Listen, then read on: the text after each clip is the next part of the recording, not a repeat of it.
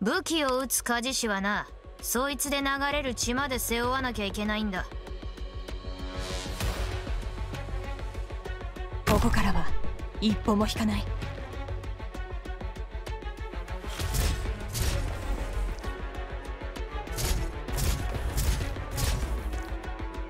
生殺の木伊豆くんぞよく行守し相譲らん